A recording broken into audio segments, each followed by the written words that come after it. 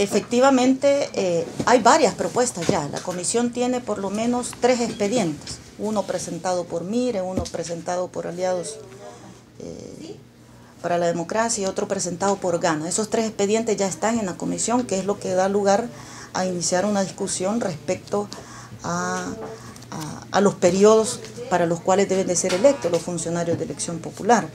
Lo que sí acordamos hoy a partir de esa discusión y coincidimos todos los partidos políticos es que deben de alargarse los periodos. Es decir, que tanto diputados y diputadas como consejos municipales y presidente de la República deben de ser electos para cinco años. Eso ya yo esperaría, ¿verdad?, que, que no retrocedan. Al menos en el caso del FMLN estamos... Eh, eh, convencidos y convencidas que es lo mejor. Eso le garantiza estabilidad a la economía, le garantiza que los consejos municipales puedan desarrollar obras eh, más sostenibles en el tiempo y por supuesto se beneficia a la población al tener eh, periodos más largos que le permita definir una política de desarrollo local. Mira, cada elección, sobre todo la legislativa municipal que, o la legislativa, que es una de las elecciones más caras, cada elección está costando eh, al país alrededor de 30 millones de dólares, si lo redondeamos.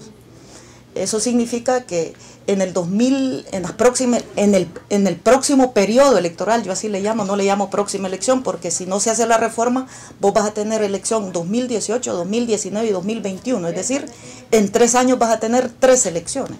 Eso significa que si evaluamos que una elección le cuesta al país alrededor de 30 millones de dólares promediando, tendría vos 90 millones de dólares que debería derogar el Estado en tres años para atender el tema de tres elecciones que, estaríamos desarrollando. Y eso es cada tres años, se viene ese ciclo de, ese periodo electoral muy cerrado. ¿no? Eh, luego, eh, aparte de lo que el Estado se pueda, se pueda ahorrar, aunque vayas a elección legislativo municipal, la economía nacional se contrae siempre.